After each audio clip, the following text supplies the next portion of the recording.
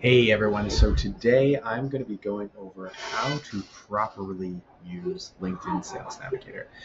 LinkedIn Sales Navigator is one of the most powerful data tools in your arsenal, and I get so many questions about how do I build this list, or how do I look for this trigger, or is it possible to get this list? And it's it's almost always on Sales Navigator. Sales Navigator gives you great access to lists, and uh, if you know how to pull out those lists from Sales Navigator, you could do some pretty pretty incredible things with it. Um, so this is going to be a basic overview of Sales Navigator. There's tons of products that you can use with it. Of course, I think that you should be using Clay along with Sales Navigator, but this is going to be an overview just of Sales Navigator. So let's get straight into it. So the first thing that uh, I like to go over when I'm going over Sales Navigator with new people is all of the different filters that are here and available to you are extremely powerful. Um, specifically, going for current job titles, company headcount, current company. Uh, a lot of times, past company can be really, really great. Uh, a lot of times, people want to talk to new startup founders, and these new startup founders, uh, they want to make sure that they have some kind of track record. And so, finding companies that you, or people that used to work at Facebook, and now they're working at a company with one to 10 people and they are in the C suite. This is how you could build an awesome list of people who just recently started their own company. Uh, well, actually, we can even do years in current company, less than a year, one to two years. And now these are most likely startup founders uh, that used to work at Facebook that now are on their own, starting their own companies. So, anyway, that's just a quick search that we could just put together using LinkedIn. So all of these ingrained filters are extremely powerful. But one thing that people don't take enough advantage of, in my opinion, is the Boolean searches. So you can also search keywords here up at the top, and it will give you some great extra advantages in your searches. So I made this quick search, uh, this quick sheet about Boolean searches. Boolean searches are essentially being able to tell a database, uh, I want a bunch of things and all of the requirements need to be true. I want a bunch of things, and if only one of the requirements are true, that's totally fine. Or I want to exclude requirements from a list. So, and is the one that when you pair and with two search items or more than two search items, you're telling the database, I want you to search for these two or more search items, and all of them have to be true. Or you're searching for two or more search items, and it doesn't matter if all of them are true at the same time, it, you can look for anything. And then not is, of course, you want to exclude something. So I have some examples here. So if we're looking for, usually when we're looking for decision makers, it doesn't matter. We want the owner or the founder or the president or the co-founder, and then we can even add or CEO, right? All of those would matter as the decision maker for the company. Same thing. Uh, well, then when we're talking about real estate agents, right? We want the real estate agent. Maybe we want a real estate broker, but we don't want consultants. So this is good for. It doesn't matter that we get a real estate agent, and it doesn't matter that we get a broker. We're going to say that they're the same things, but it, we do not want to be talking to consultants. And this is an example search that you can put in here. And then if you want to search for doctors who are also pediatricians, and both of those things have to be true, we can use this uh, in our Boolean search. So if you're going to be using this Boolean search, the basic way to do this would be to just come into Sales Nav and throw that in to your keywords, and you will find a ton of different decision makers that you'd also be able to narrow down with these searches over here. I don't see a whole lot of people using the keyword uh, search filters. This is how you get far more granular, and you can clean up a lot of the mess that, that LinkedIn might start causing for you here and there. One recent update to LinkedIn Sales Navigator, though, is if you go to current job title and you let's say we put chief technology officer. Oh, that actually is not working. Let's try accountant.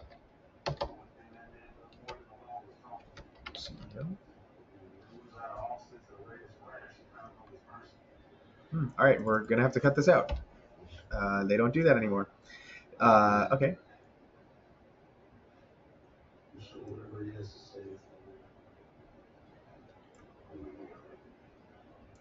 Now, the next part about Sales Navigator that is really amazing is your saved searches.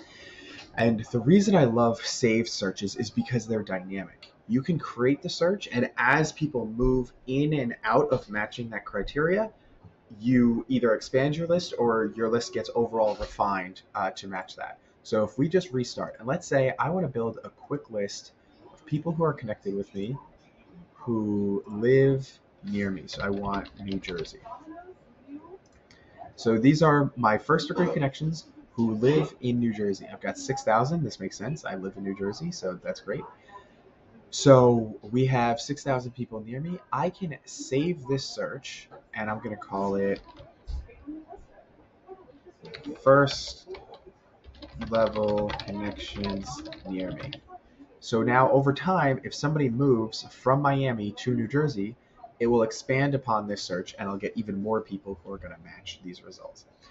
The uh, another awesome trick that you can do with this is you can create a search of people that you have sold to in the past. So let's say we want to actually type up, we're going to look for my good friend Amelia Taylor. The other thing that we can do is, here she is, we can click on this and we can hit save and we can add her to a list. And so what we can do is we can add her to a new list and say sold to in the past. And so now, as I close deals, I can continuously add people to this list. Now, you might be saying, now what are you going to do with this list after you've done that? Well, that's a great question. What I could do is I can use the workflow tab down here to pull up my lead lists and I'm going to grab sold to in the past. And so Amelia is going to be the only one who's going to come up here, which is totally fine. But I can also add change jobs in the last 90 days. So now I can save this search, and Amelia has saved, uh, she has changed jobs in the last 90 days. I can now save this search and call it sold to in past new job. And so now I have a search of all of the people that I've sold to in the past that I will get a notification when they move and I can then get a reminder to, to sell to them. All of these notifications go into your home screen where you'll be able to see all of these things. So that's another way, way underutilized piece of you know functionality within Sales Navigator that I don't see enough t- people taking advantage of. Creating a static list, adding people to that list, and then watching for triggers. Are they posting? Are they changing industry? Are they changing jobs? You know, what's going on? People you interact with.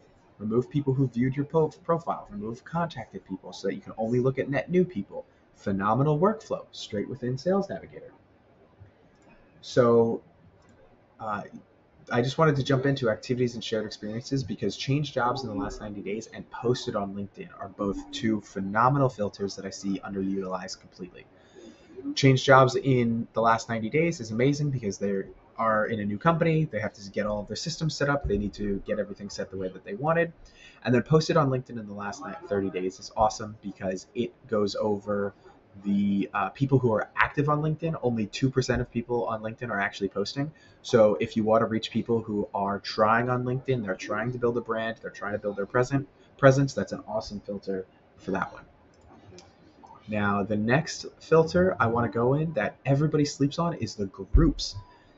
LinkedIn groups is special in such a way because they have the worst community platform probably on the internet but there are all of these groups that you can find. So we have real estate investors, right? This group is named real estate investors. And there are 180,000 people who are in this group. Now, like I mentioned, I'm not sure if you heard me. LinkedIn Groups is the worst community platform on the entire internet. So, what did these people have to do? They didn't find out about the group organically. They didn't get referred into the group because one of their friends wanted to bring them in. They went into the, the LinkedIn search bar and said, I want to connect with other real estate professionals, or I want to connect with other people who think like me. I'm going to use LinkedIn and see if I can find any groups. And then they got bamboozled into the worst community experience ever. But I digress. So, what this tells us is this is some cheap, cheap intent data that you can get about people. So, there, here's a real estate investor group. But what if I wanted to talk to people who are interested in automation, right?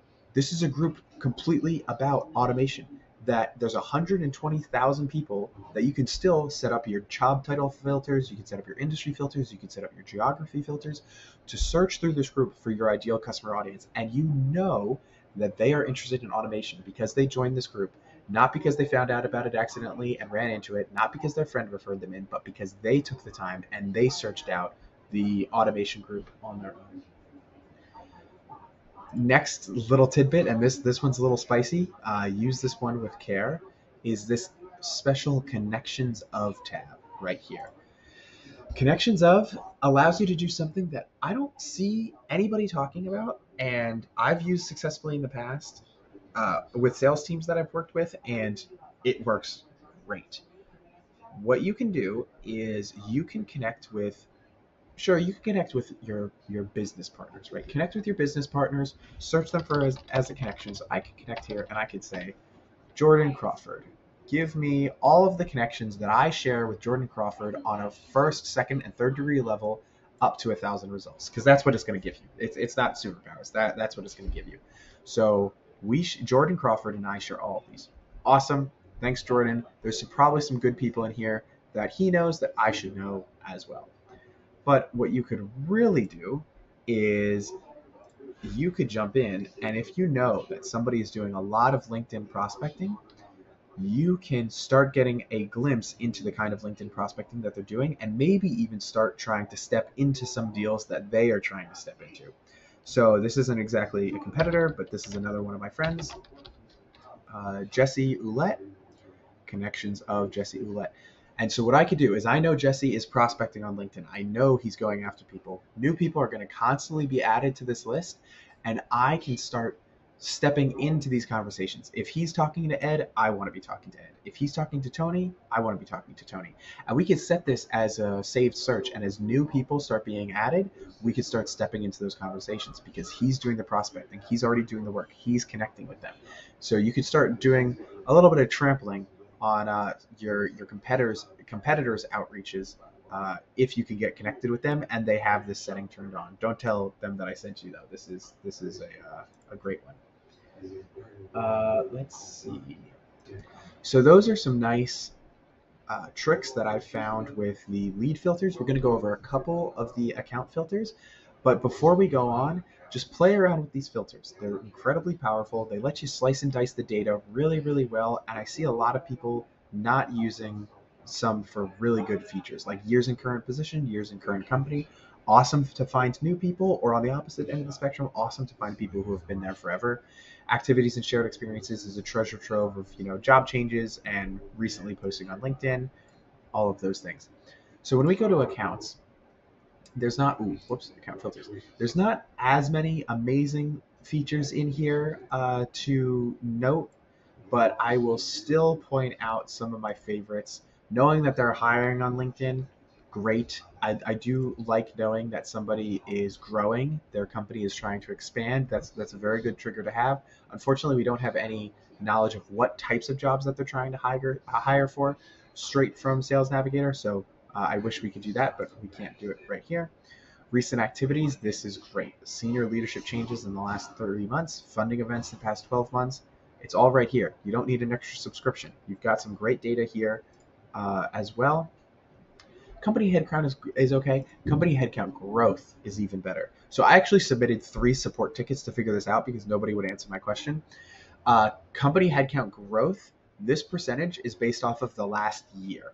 It is not based off the last three months. It's not based off of the past six months. It's based off the past year, and that's straight from LinkedIn support. So uh, if you want to use that, just know that it's from the past year. Uh, what I really, really love though is department headcounts and department headcount growths. What a great signal for you know knowing that a company is growing their sales team or something like that. I really, really like that one. Um, and then technologies used. I wonder where they're getting this data from, but it seems like it's a pretty wide database. I think there's some things in here that probably aren't mentioned. So we go to W. I wonder if WooCommerce was mentioned. Let's see if we can find it. Oh no, maybe it's not that expansive. But anyway, still they have technologies. If you can find a, a big one on here that matches yours, I don't necessarily see Salesforce. Let's try that. Yeah, so we have Salesforce. So oh, we have a lot of things for Salesforce. So you know, a, a great technology filter over here as well. So I basically wanted to make this video because I see way too many people asking me questions and I just say to them, this could totally be made on Sales Navigator. You just haven't looked at the filters enough. Dive deep into these filters. Let me know if you have any questions. Uh, this is something that comes up all the time and you can do a lot of creative things with. Uh, and I think just more people should be taking advantage. So, like I said, if you have any questions, reach out to me on LinkedIn. I'd be happy to help.